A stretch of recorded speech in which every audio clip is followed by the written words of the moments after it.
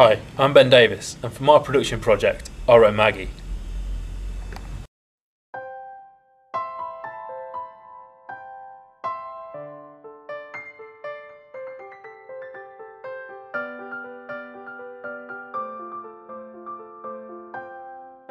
Uh, Maggie is about a man who's down on his luck, who finds a woman of his dreams in the most unlikely of circumstances.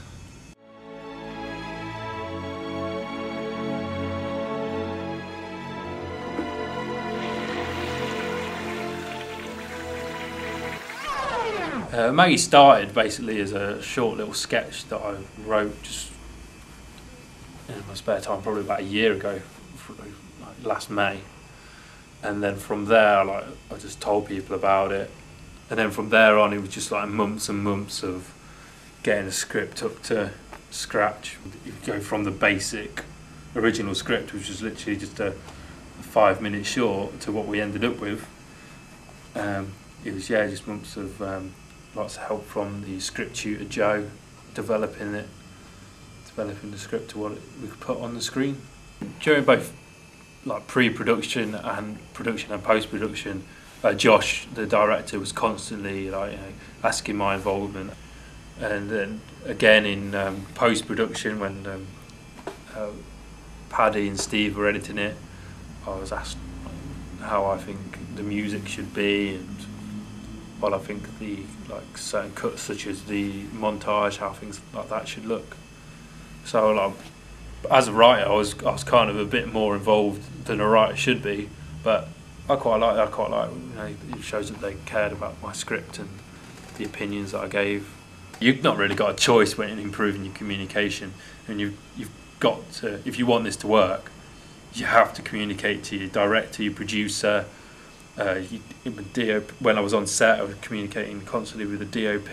I had to negotiate with the script because there was a, a one scene in particular where um, Chris, who's Tom's best mate, like cheats on cheats on Tom with his hand, with Tom's hand. Um, I had like had to justify keeping that in because at first it was just seen as a uh, kind of cheap joke, cheap like laddie joke to put in. But um, basically, I just had to negotiate and like you know try and bring across that it was you know is a not only is it defining moment in story, but it's a defining kind of character defect of both Chris and Maggie as well. Like even though she's just a hand. I suppose when you're on set, you know you've got a job, you know what it is. You just you do it. You know you've got to set up, set up track. You just do set up track. But as a writer, you know you've got. It's a lot harder to kind of get yourself motivated for the job in hand, especially when you kind of. I suppose you're getting writer's block and stuff like that. But there was there was a lot of like nights where I just stayed up late on my own, just coming up with ideas and different ways and typing, typing, typing, delete, delete, delete, delete, again and again and again, trying to find different ways for the story to work. During one of the pitching sessions, I got the script got absolutely well script. I don't know. I felt a bit personally. Me got absolutely ripped and like torn to shreds and then basically after that I had to I had to evaluate you know what I wanted both out of the script and out of this opportunity to make a film if your if your script isn't ready then either the film's not going to get made or the film's going to get made to a not as high a standard as it could be constantly we were having having meetings to discuss ideas for the script and ideas we could that could help develop the script and the characters and turn it into a funnier film. And so, like writing, I was I was team working during my writing, and then on the production, I was team working with, with Anna, the gaffer, and uh, Tom Houghton, the DOP, and basically the whole team, like you know, trying to get things together. As the, far as the project that is uh, Maggie is concerned, I had to keep I mean, the final draft, I think was draft eight. So like, I had to keep constantly like keeping the producer and the director informed on the latest draft of the script, so that you don't get to the day of filming and you're thinking, well, why? What's happened to this shot?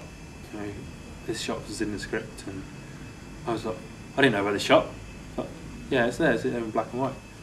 And you just, you know, if you don't want things like that happening, you just got to keep keep on top of your planning. We had to um, take it from a short sketch into a, a 10 minute character driven with plot film.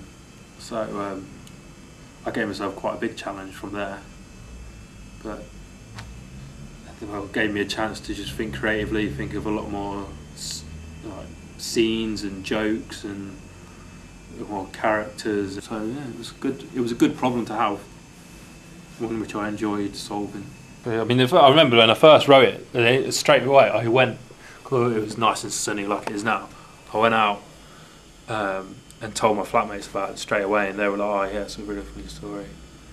Sounds like a good idea." And then I told Tom about it, and obviously being the lad, he was like, "Oh, how did you come up with that?" Uh, yeah, and then I told everyone else about it, and it snowballed and snowballed and snowballed, and and then we get to May 2008, and it's upon the big screen. That's entrepreneurship for you.